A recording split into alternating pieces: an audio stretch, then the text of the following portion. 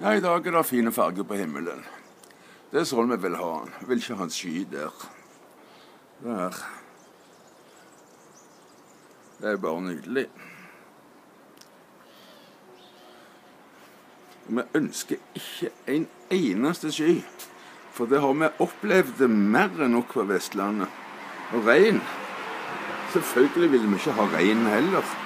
Altså, det, det er jo djevelens greier, det der med regn. Dere tror vel ikke at Gud har funnet på noe så jævlig som regnvær?